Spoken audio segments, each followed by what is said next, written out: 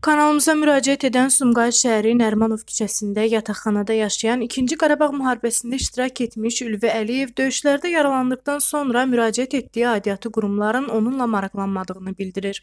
Yaşadığı yataqxanadakı nəmişlik səbəbilə bədənində olan qəlpə yaralarının onu incitdiyini, iş müraciətlərinin də nəzərə alınmadığını bildirən vətəndaşın daha ətraflı öz dilindən eşidək. 2018-2019-cu ildə Naxçıvanda hərbi xidmətdə ə, olmuşam. E, 2000 19-cu il təxris olduqdan 1 il sonra ə, e, Vətən müharibəsində iştirak eləmişəm. Vətən müharibəsində Füzuli ə, e, uğrunda döyüşlərdə, Xocavənd uğrunda döyüşlərdə ə, e, iştirak eləmişəm. Xocavənddə ə, Xocavənd şəhəri uğrunda döyüşlərdə üçün ə, tabor toplanışı zamanı ə, erməni ə, birləşmələri tərəfindən ə, ə, minomyot atışı zər ə, e, nəticəsində ə, e, qəlpə yarası ilə yaralanmışam. Həmin həmin zaman ə, e, çox sayda ə, hərbiçi yaralandı. Hətta ə, ağlımdadır ki, bir ə, mülki şəxs də sürücü idi, deyəsən yaralanmışdı. Ə, iki nəfər həmin yerdəcə şəhid olmuşdu. Daha ə, ə, daha iki əskər həmin yerdə e, şəhid olmuşdu. Bir e, daha doğrusu gizir idi, biri əskər idi. Daha sonradan isə ağır yaralananlardan daha iki nəfər e, həm eyni yerdə şəhid olmuşdu. Bu tabor toplanışı idi. Xocavənd axır döyüşün sonları təxminən 7-8 noyabr tarixlərində idi. Həmin zaman artıq toplanış olmuşdu ki, Xocavənd şəhərinə hücum planlarıdır və şəhərə hücum etəcəyik 706 tərkibində. Şəhərə hücum olunandan sonra mən həmin gün yaralandım. 8-i ya 7-si 7-8-i belə yaralandım və bundan sonra hətta yad ağlımdadır ki, və həmin hücumda Xocavənd döyüşündə iştirak etmək istədim şəhər uğrunda döyüşlərdə. Onun üçün yaralı olmağıma baxmayaraq ambulansa getməmişdim. Təkrardan artıq və döyüşə hazırlaşmışdıq tam olaraq. Hətta Kərim Vəliyev, Heydər Piriyev gəlib bizi sağ olsunlar ruhlandırmışdılar döyüş üçün.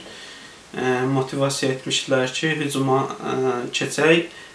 Bundan sonra ə, ikinci ambulans gəldi. Bu ambulans zamanı mənə dedilər ki, yəni ə, qəlpə yara yarası ə, pastamın zəhərlənmə verə bilər qanda. Ona görə heç olmasa sarğın dəyişilməsi üçün getdim. Ancaq ambulans ə, mütləq olaraq xəstəxanaya getməyimi yəqin bildi. Onun üçün məcburən ə, o döyüşdə iştirak edə bilmədim. Bir ay ərzində xəstəxanada oldum və e, aya hətta qəhvə hələ də ayağımdadır. Ağrıları indi bu yaşadığımız yerdə elə bir yerdir ki, nəmişlikdən daha da ağrılar hiss olunur. Qəlbə dəmir metal deyir, istər-istəməz e, ağrılarını hiss edirəm və bir ay ərzində mən e, yəni e, yaralı vəziyyətdə hələ yaram tam sağalmamış Xocavəndin Ulyan dağlarında bir ayda posta durmuşam.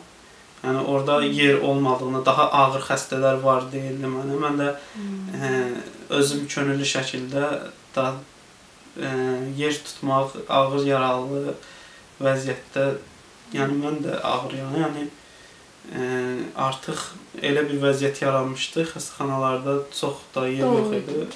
Mən də sağalma prosesindən biraz yəni elə deyildi daha doğrusu. Ona görə e, posta getdim. Bir ay ərzində e, ayağımı sıx bağlasam da, yəni posta durdum. O müharibədən gəldikdən sonra mən səhhətim biraz e, pozuldu. Yəni o ayağımda qəlpə yarasızlığı ilə e, həmin eyni işdə işləyə bilməzdim. E, soyuğa da girirdik, çünki ağır işdə gördük. E, və iş yerindən e, iş yerinə müraciət elədim ki, yerimi dəyişsinlər. Orada Burada vakansiya yoxdur dedilər, hətta işdən, yəni işimdən də belə oldu. Sonrasında yəni 3 ay işsiz qalmışam. Yaşadığımız yataqxanada qəzalı vəziyyətlərdə çox e, təhlükəlidir. Yəni mən ölümdən heç vaxt qorxmamışam. Müharibədə heç vaxt da e, atəş olunduğumuz halda belə qaçmamışıq. Komandirlərimiz nə əmr eləyibsə, hətta e, güllənin altında dur desədilər durardıq. Yəni sadəcə olaraq e, bura gəldin, artıq ailəvi də eyni vəziyyətdə görsən və müharibədə mən yoldaşlarım yaşa ya e, elə bil Ağcabəddə olduq, Füzulidə oldum, Xocabənddə oldum. Burada ə, artıq qaldıqda cəbhə yoldaşlarım deyirdi ki, yəni belə yerlərdə insanlar insan yaşamaz, it də saxlanmaz, amma həmin yer gəldi mən ə, yəni yataqxanada hətta yağış yağdı da evi su təmiz basmışdı, nəmişlikdə yaşadıq. Yəni bunları mən öz evimdə yaşadım. Yəni müraciət hər yanında müraciət eləmişəm. Ə, bələdiyyədən icraya, ə, iş üçün, ev üçün, heç birinə yalan, ya sadəcə yola veriblər. İşləyirəm, sadəcə təcrübəçi kimi 300 manat pul alıram indi də. Tamam işsiz qalmamaqdan yana ona razı oldum. Yəni o da öz Bakı dövlət qurtarmışam, ali məktəbi. Yəni ilk olar məşğulluğa məşğulluğa get. Daha doğrusu hamısı özü çağırır. İcra ilk gəldiyimdə özü zəng elədi, gələcəyik, sizi baxacağıq. Heç kim gəlmədi, heç bir nümayəndə Mən təkrar zəng elədim, sən mənə zəng eləyib ümidləndirirsən. Heç olmasa gəl mənim yaşadığım şəraitə bax da, mən heç nə istəmirəm. Sonra onlar dedi, hə gələcək, heç kim gəlmədi, heç bir nümayəndə gəlmədi ki, mənim qazim Sumqayıt şəhərindən nümayəndəsi, yəni burada e, yaralanıb görüm nə vəziyyətdədir. E, icra hakimiyyətinə məşğulluğa müraciət elədim iş üçün.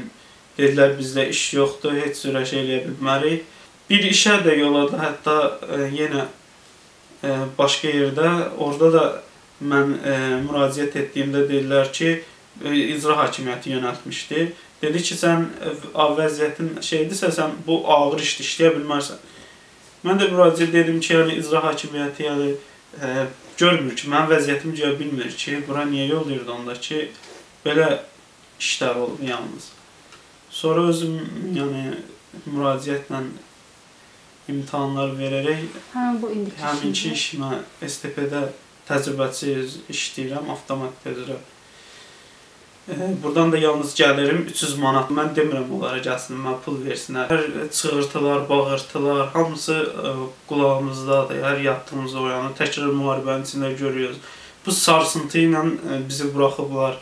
Hətta psixoloq yanına gedirəm mən hal-hazırda. Sarsıntı hələ məndən e, keçməyib. Bu çığırtılar, bağlıqlar, yəni şəhidləri dostlarımız yanımızda necə şəhid olub. Bu, bunlar barəsində danışa danışmaq da olmur. Yəni onları, o hissləri təkrar elə bil yaşayırsan, gözünün önündən keçir. Atam da 1-ci Qarabağ müharibəsində 3 il ərzində Ağdamda döyüşübdü. O da heç e, veteranlıq yoxdur da adına, yəni Qaldı ki, nəsə almağı. Voyinkomata e, müraciət eləmişik. Sumqayıt voyinkomatına, Müdafiə Nazirliyi hamısı deyib ki, yəni hadisə hazır olanda sizə xəbər ediləcək, şey olacaq. Ancaq bir il ötübdür artıq şəhidlərimizin də ili çıxır, ancaq heç bir şey yoxdur, yəni ortada. Qeyd edək ki, Kanal 13 səsləndirilən fikirlərə görə məsuliyyət daşımır, qarşı tərəfin mövqeyini isə işıqlandırmağa hazırıq.